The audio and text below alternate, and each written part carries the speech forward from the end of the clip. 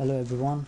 Today well, I'm talking about the basic summary of what we talked about in my previous video uh, about the variables and data types. It's just going to be a short summary because the previous video went uh, very long, uh, a lot longer than I expected. So we'll just go through the basic summary of what we studied um, on that video, and it's going to be about variables and data types. Okay.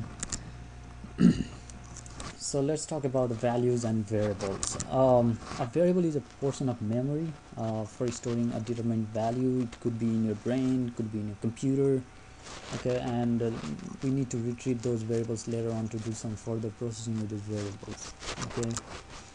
Uh, it could be numerical it could be characters or it could be sequence of characters uh, which are also called the strings. We'll get to the strings later on in this video um, examples include 20 as a number, California as a string, A as a character.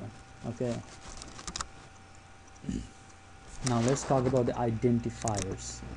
Okay, a valid identifier is used uh, to identify a particular variable in a memory. It's like a reference. Okay, a valid reference, valid identifier helps you identify identify um, what is um, the variable that is stored in the memory with the help of a sequence of characters okay?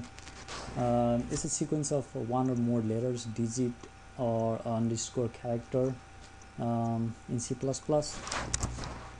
okay? And um, it cannot start with a number okay? Um, best practice is to start with a letter. You can start with underscore but a um, lot of time in C++ uh, there are already some reserved keywords uh, you could possibly run into some keywords uh, that uh, start with underscore. So you can make a lot of identifiers starting with a letter okay?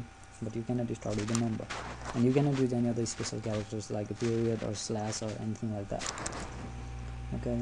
Uh, examples include my value underscore num or num2 etc.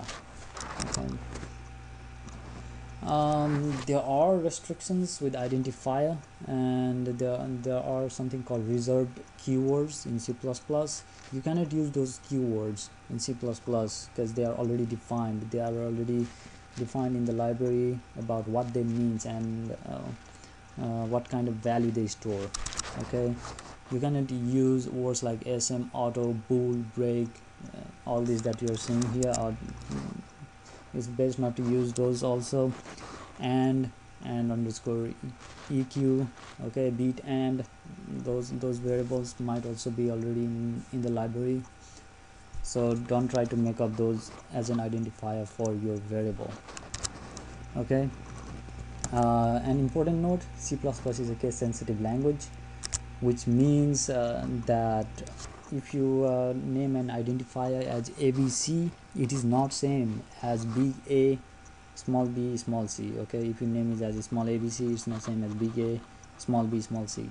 Or even big abc okay? They are identifiers are completely different okay? Now um, let's talk about some fundamental data types. C++ need to know what kind of data are we storing um, to do further processing later on without uh, knowing what kind of data type it is C++ will not be able to store it okay? Um, there are basically nine types of fundamental data types in C++ uh, char is a character or also called a small integer. Its size is one byte. It takes one byte of memory in your computer. Um, short int takes two bytes of memory on a computer. It's also called short integer. Int uh, takes four bytes uh, it's an integer number. Okay long int takes also takes four bytes uh, it's also called long integer. Boolean value true or false ones and zero takes one byte of your computer memory. Float is a decimal decimal number. You know if you need to store a number that also have a decimal place you use float. Uh, double is a double precision floating point number okay? It takes 8 bytes of, of the memory and there's also a long double. The size that i'm referring here 1 byte 2 bytes 8 byte for long double they are basically for 32 bit architecture. You don't need to know all the about all those right now but that's this this size may not be true for all all the computers okay? They can be different depending upon what kind of operating system you are using but this is the most you you'll find this probably in most of the computers that that you'll see okay? Uh, if it is a 64 bit uh, long double size may be different. Long int size may be different okay? Uh, and also there's a w, w, w char that should be char underscore t okay? Now when you declare a variable you need to uh, give the identifier name um, and what data type are you trying to store okay? For example here int a okay? It means that there is I, I will store a variable named a which is going to be an integer okay? Float b uh, means that uh, I want to store a variable named b which is going to be of type float okay now double num. That means I'm going to store a variable named num and it's going to be of type double.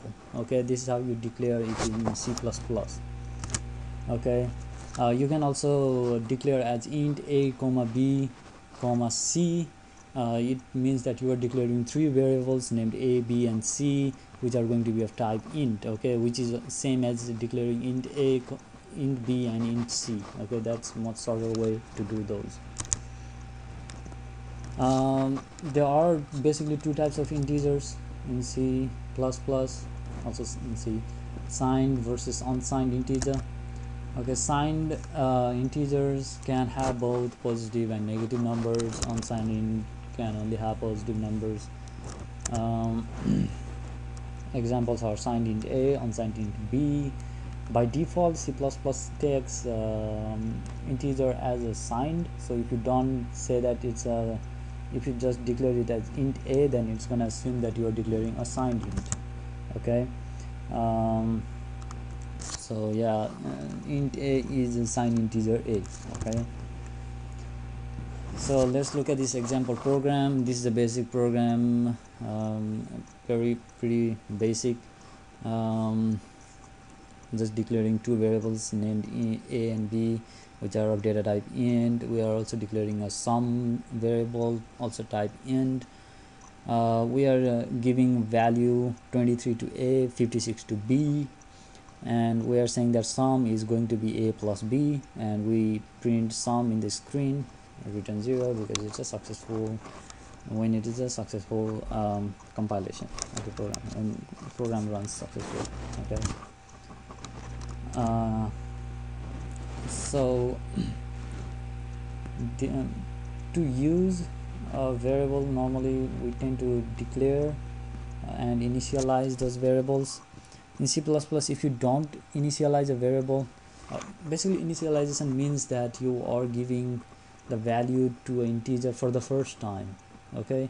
And when you don't initialize it and try to use it uh, C++ is going to store some random junk in your variable okay uh, and to initialize it a variable needs to be declared first. Otherwise it's going to be giving you some error saying maybe unknown data type a undeclared or something like that.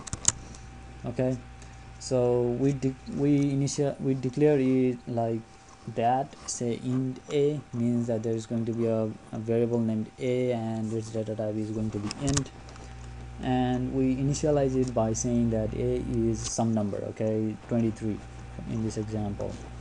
So a equals to 23 that statement is the initialization of variable. Uh, int a is a declaration of the variable okay? Understand that difference. Um, and in C++ both can happen in the same line. You can declare and initialize at the same time.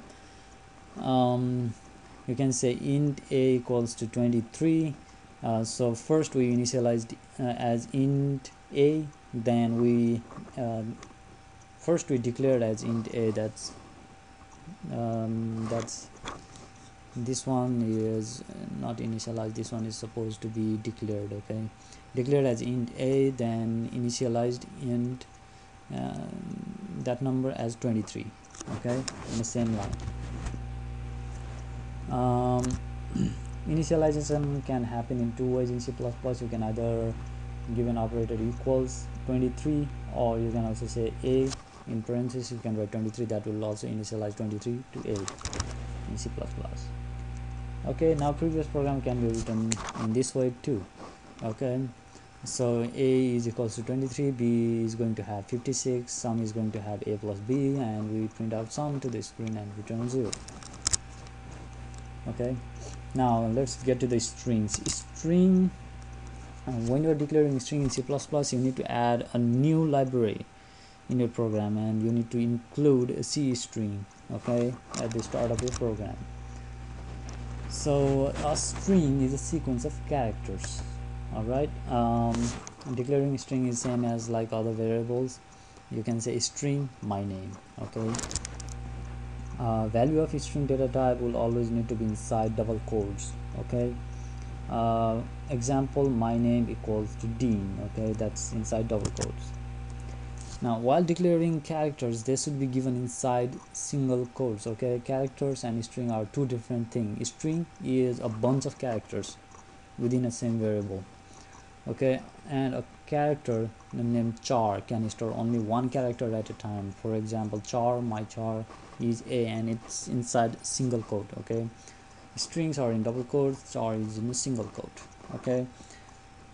And character you know takes only one character at a single time and string is a collection of those characters okay in the same variable identifier. All right uh, string example program. Notice here we included c string and there's also another concept of adding the string. It's called concatenation okay uh, this is very valid in C++ you can add two string into the same string. And you can also declare a variable like you can add two numbers and declare it inside that. Okay and we included a C string here. Uh, that's important otherwise this declaration is going to give you a compilation error.